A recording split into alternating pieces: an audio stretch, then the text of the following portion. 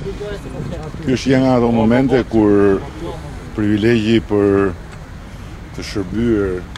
në këtë detyrë ndjehet i gjithi dhe e them me shumë kënaqësi që çka ne kemi vënë në dispozicion si mbështetje për 870 naftarë dhe Punonjës e punonjëse të rafinerisë është pritur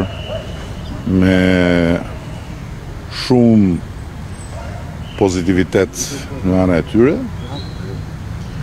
Natyrisht që në këtë kohë kaq të vështirë kur duhet të kalkulojmë çdo ditë, çdo ditë, çdo ditë, si asnjëherë më parë në eksperiencën time në këtë detyrë për të qenë largpamës sepse jemi në kushtet e një paparashikueshmërie për shkak të Covidit. Nuk është e lehtë, por sidoqoftë ne jemi të bindur që kemi bërë gjënë e duhur duke vendosur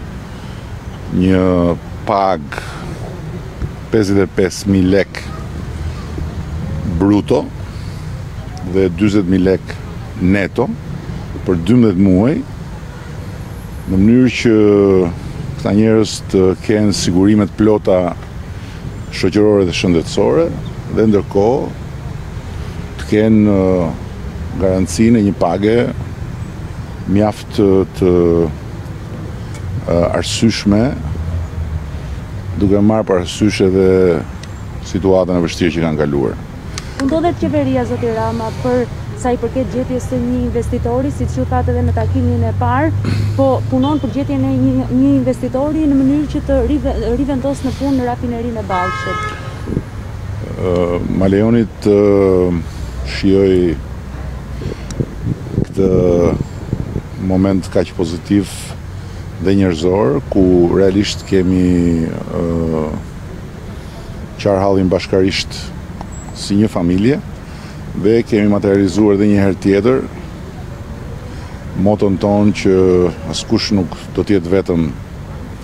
dhe gjithçka që është e mundur Nga ana jonë, do të bëhet për këdo që është në nevojë. Natyrisht, ne nuk i kemi të pakufizuara mundësitë, por ky grup njerëzish meriton një vëmendje të veçantë për faktin se është një grup burimesh njerëzore të specializuar në një sektor të rëndësishëm dhe për faktin se ne nuk jemi dorëzuar për sa i përket perspektivës së rafinerisë, pavarësisht se është një është një rafineri që kërkon një investim të konsiderueshëm me një teknologji të vjetër dhe do doja që pjesën se ç'do të bëjmë më pas t'ia lëmë të nesërmes. Megjithatë nuk i shmangem përgjigjes, vazhdojmë intensivisht procesin, i kemi dhënë kohë të mjaftueshme besoj unë këtyre njerëzve për të marrë frymë lirisht, dhe në momentin që do të jetë investitori dhe në momentin që do të rindizet rafineria sigurisht që Ata nuk do kenë nevojë për këtë mbështetje, sepse do të do të marrin pagat e punës së tyre, që janë paga të konsiderueshme. Ka patur një interesim nga disa libanezë, kompani libaneze, është e vërtetë? Nuk dua të bëj komente konkrete. Ne jemi në kontakt me tre kompani. Edhe janë kompani të mëdha, janë kompani të rëndësishme. Por koha që jetojmë është jashtëzakonisht problem. Është një problem që e kemi hasur me disa projekte tona, siç po luftojmë në këtë drejtim, po luftojmë dhe për aeroportin e Vlorës. Fatmirësisht kemi një lajm shumë të mirë për